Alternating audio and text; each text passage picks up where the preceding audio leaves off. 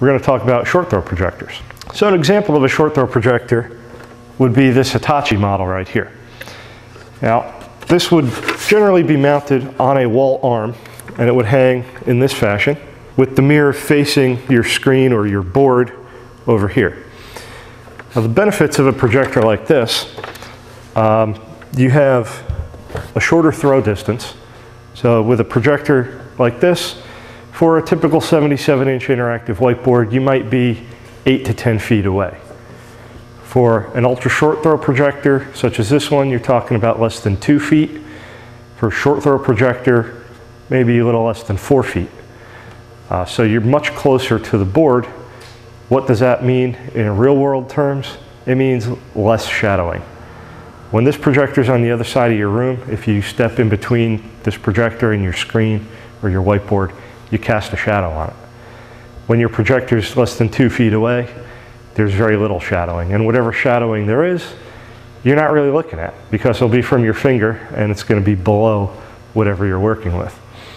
Some other great benefits uh, for a teacher or an instructor, a short throw projector is not going to have as much light shining in your eyes. More often than not, that projector is going to be directly over your head while you're speaking to your audience. So unlike a projector on the other side of the room, you're not going to have to look into this bright light uh, that's blinding you as you're trying to give a lesson. From an administrative point of view, these are easier to install and generally have lower installation costs.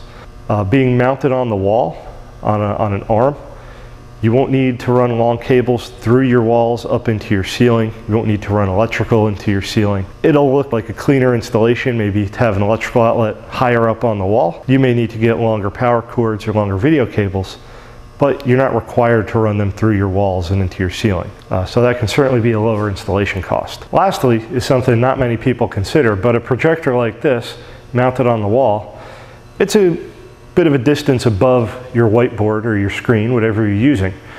And this projector is going to be mounted out of the way.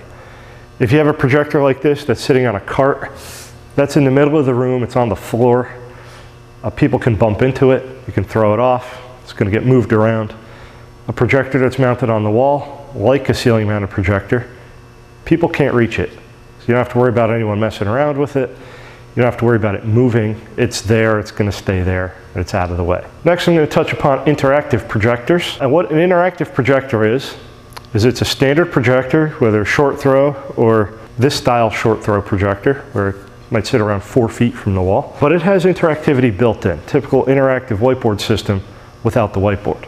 You would generally project onto a hard surface like a dry erase marker board or maybe even a wall. Certain applications you can use a fabric screen if you really wanted to, but a hard surface would be best.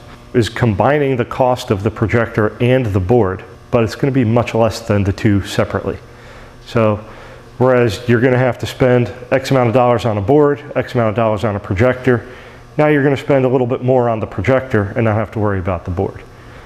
This sort of setup does not work for everyone, but it is a great setup and it just might suit your needs. If you think this will work for you, let us know. We'd be happy to show you a few different models.